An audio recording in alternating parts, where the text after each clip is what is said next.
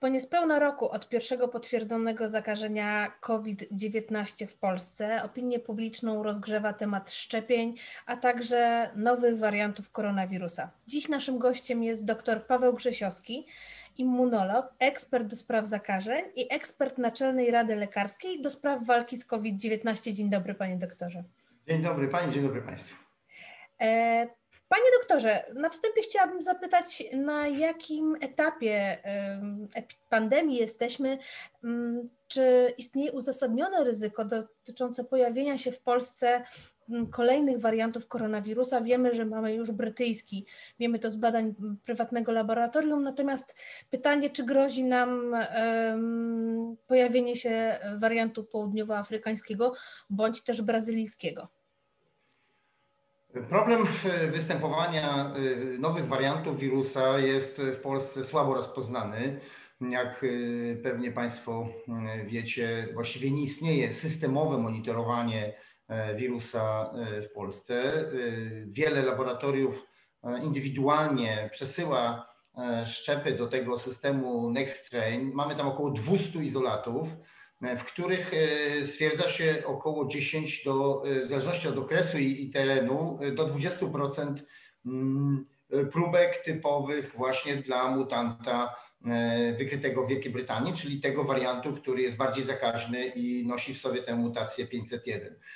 Natomiast pozostałe warianty w tej chwili, z mojej wiedzy przynajmniej jak wynika, nie zostały potwierdzone, a więc y, wariant z południowej Afryki i wariant z Brazylii nie wiemy, czy w Polsce występują. Mamy zbyt mało próbek i powiem szczerze, że oczekiwałbym, że będzie tutaj jakaś interwencja Ministerstwa Zdrowia, żeby taki program monitorowania próbek z całego kraju zaczął funkcjonować, bo dzisiaj niewiedza na temat wariantów wirusa może nas drogo kosztować. Panie doktorze, ostatnio w Nature pojawiła się publikacja wskazująca, że na powstawanie nowych wariantów koronawirusa może mieć wpływ podawanie osocza ozdrowieńcom, osobom e, chorym. E, w Polsce mieliśmy moment, kiedy ten apel o oddawanie osocza i, i, i to podawanie osocza było dość powszechne i popularne. E, czy istnieje Pana zdaniem ryzyko dotyczące pojawienia się na przykład polskiego wariantu koronawirusa?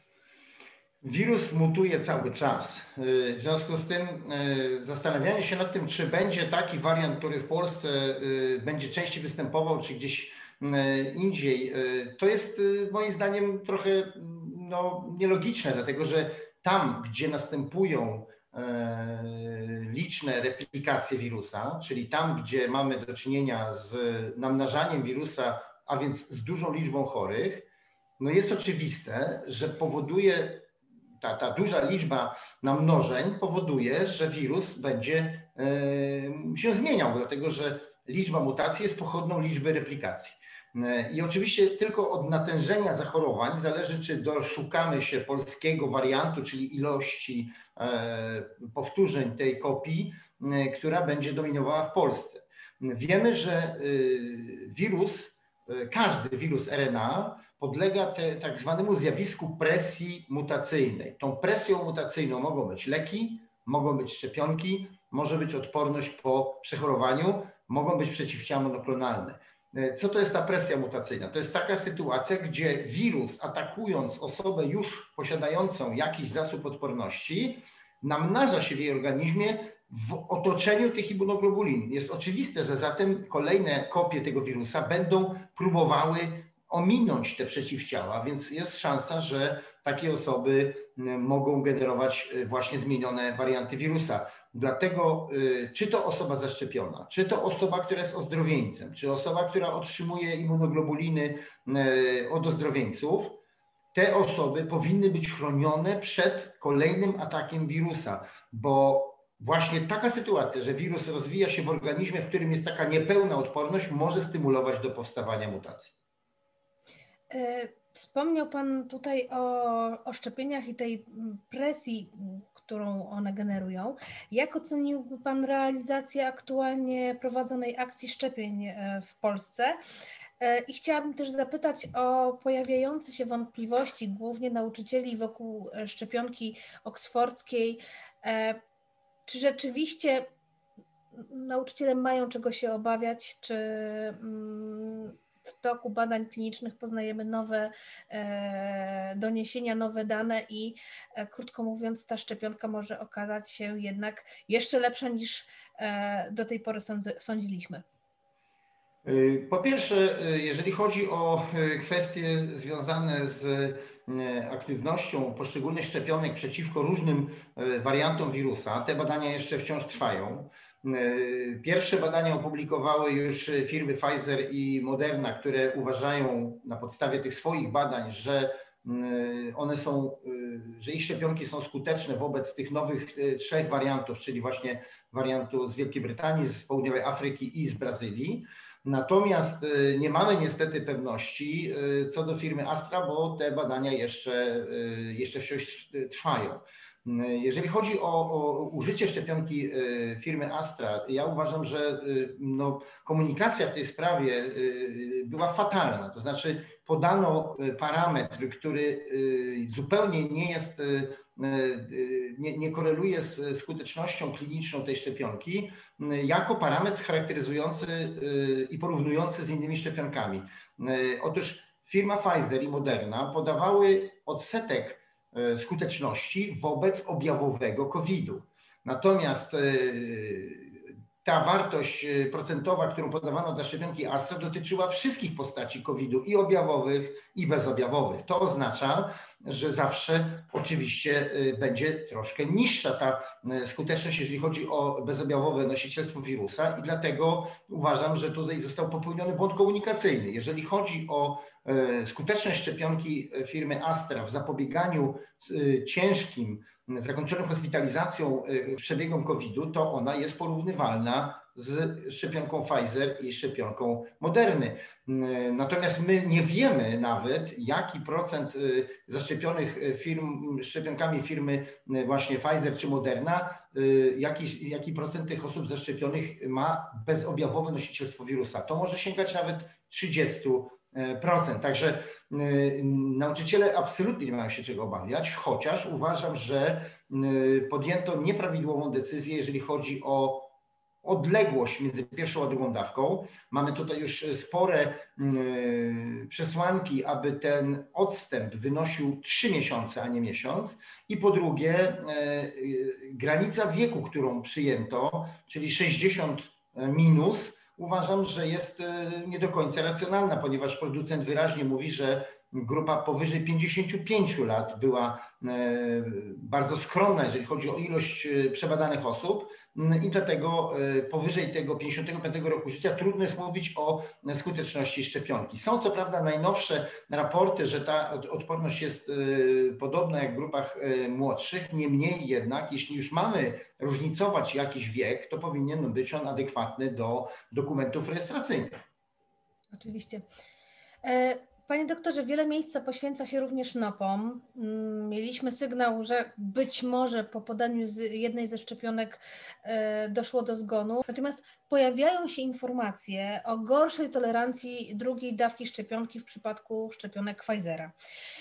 I teraz pytanie, e, czy przyjmowanie leków przeciwzapalnych, takich jak ibuprofen, może obniżać skuteczność e, tego preparatu może obniżać skuteczność reakcji immunologicznej e, wygenerowanej przez drugą dawkę szczepienia?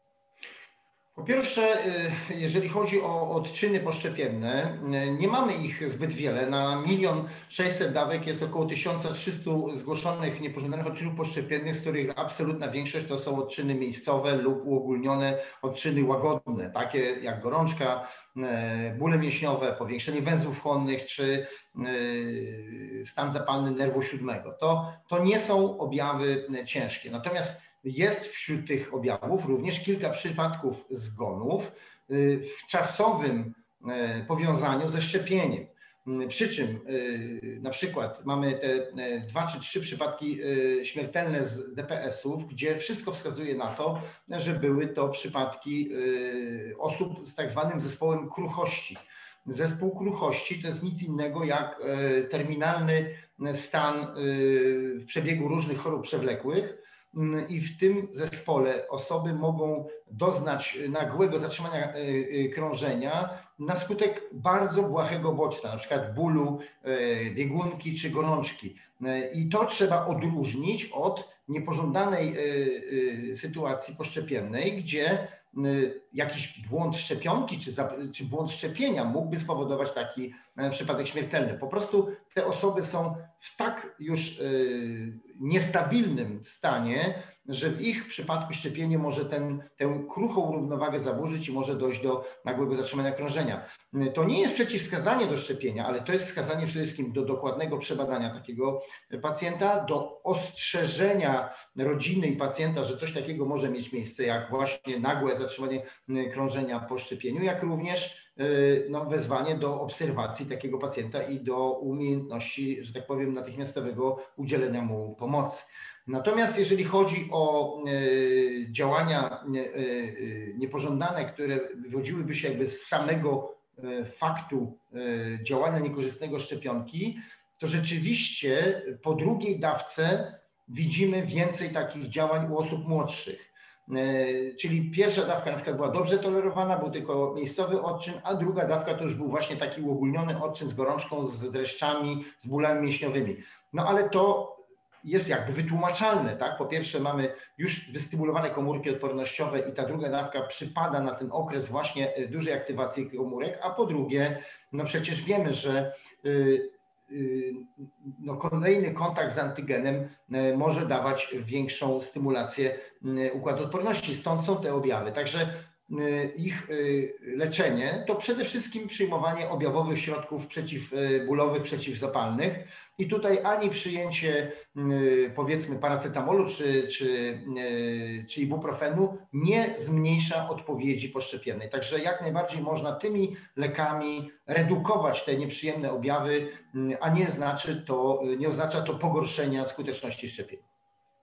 E, Panie doktorze, w mediach społecznościowych pojawiają się wpisy, gdzie medycy chwalą się trochę e, wartościami przeciwciał uzyskiwanymi po drugiej dawce szczepienia. Czy te wartości, które się pojawiają, e, Pana zdaniem mogą sugerować, że ta odporność e, po realizacji szczepienia utrzyma się dłużej niż przez rok, tak jak wstępnie mówiono? Y, wysokość y, stężeń y, przeciwciał IgG przeciwko białku S może warunkować wielomiesięczną czy wieloletnią odporność. Pamiętajmy, że to jest tylko marker odporności całego organizmu, dlatego że to jest tylko marker odporności humoralnej, a my mamy również jeszcze długo żyjące komórki pamięci immunologicznej. A więc to, że mamy wysokie stężenie przeciwciał, każe nam przypuszczać, że ta stymulacja poprzez szczepienie była silna, była skuteczna. A jeżeli mamy już y, y, komórki pamięci immunologicznej, one będą nas chronić przez wiele lat. Także ja tutaj jestem zdecydowanie dobrej myśli. Jeżeli ktoś ma stężenie przeciwciał, nie wiem, typu tysiąc, czy parę tysięcy, czy parę dziesiąt tysięcy, to rokuje bardzo dobrze, to znaczy to rokuje długim okresem e, odporności poszczepiennej, także e, nie po to, żeby się może przechwalać, ale właśnie po to, żeby wiedzieć, czy jesteśmy e, non-responderem, czy jesteśmy low responderem, czy jesteśmy high responderem, warto zbadać sobie stężenie przeciwciał IgG przeciwko białku S miesiąc po drugiej dawce szczepionki. Panie doktorze, zapytam jeszcze o temat, który rozgrzał e, też e, opinię publiczną w kontekście w ogóle szczepień. Pojawił się projekt funduszu kompensacyjnego. E, był to jeden z wniosków, który mm, podnosiło środowisko pediatrów. Jak Pana zdaniem wpłynie wdrożenie funduszu kompensacyjnego na, e, krótko mówiąc, e, przyszłość szczepień, a także działania i zachowanie osób, które do tej pory kwestionowały skuteczność i zasadność szczepień obowiązkowych. 15 y, lat temu byłem sam y, y, autorem projektu, z którym występowaliśmy do Ministerstwa Zdrowia utworzenia takiego funduszu. E, minął dosyć długi czas i ten temat wrócił. E, wrócił w czasie pandemii po to, żeby upewnić e, społeczeństwo, że odpowiedzialność za NOPy to jest jedna sprawa, a wsparcie finansowe rodzin, które ucierpiały w wyniku szczepienia, to jest druga sprawa. Także w Polsce dotychczas funkcjonował system i dalej funkcjonuje, że aby pacjent uzyskał jakiekolwiek środki pomocowe po wystąpieniu niepożądanego czynu poszczepiennego, musi wygrać sprawę w sądzie. To jest moim zdaniem ślepy zaułek. Pacjent najczęściej przegrywa takie sprawy, dlatego że działanie niepożądane leku nie jest wynikiem niedbalstwa E, czy najczęściej nie jest wynikiem niedbalstwa, tylko jest wynikiem indywidualnej reakcji, której nikt nie był w stanie przewidzieć.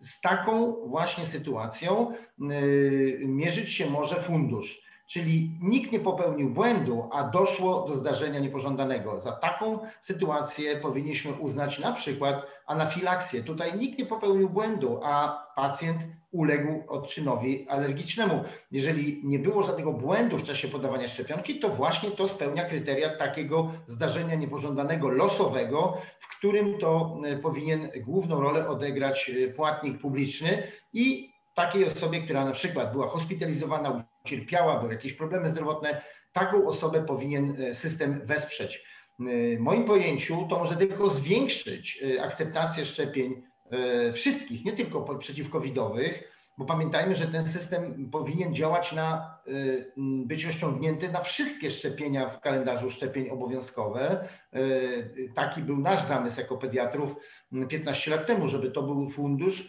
który kompensuje NOPy po wszystkich szczepionkach obowiązkowych. Akurat COVID nie jest obowiązkowy, ale jest również centralnie dystrybuowany przez E, rząd, a więc e, uważam, że to jest dobry bardzo kierunek, tylko powinien być ten projekt doprowadzony do końca.